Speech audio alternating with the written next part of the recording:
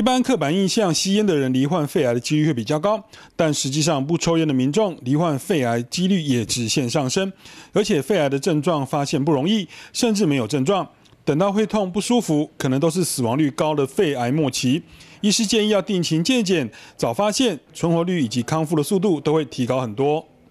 居然都没没有任何的抽烟史，那就有一天心血来潮就去接受健康检查。就就意外的发现我们肺部的病灶，那切下来我们肺部的小病灶之后，哎，经过我们病理科的化验，发现它是早期的肺癌。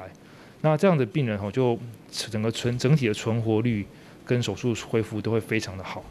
如何检测肺癌？目前是以低剂量肺部电脑断层是最高效率的肺癌检测方式，不止辐射剂量低，而且还能够在早期就有效发现肺部的病灶。那这这样子呢，可以很快速而且精准、清楚的找到我们肺部怀疑是恶性肿瘤的病灶。那所需时间大概是一般大概是数十秒左右。而接受大家所担心的辐射剂量呢，则是我们一般常规接受电脑断层的十分之一。透过检查发现肺部病灶，医师强调，不管多微小，都必须要切片检查，并且开刀摘除。另外，亚东医院近年来发展的胸腔镜微创手术，伤口小，降低病患的不适感，加快恢复速度，不让肺癌有侵害人体发展的机会。记者简明山吴志恒板桥采访报道。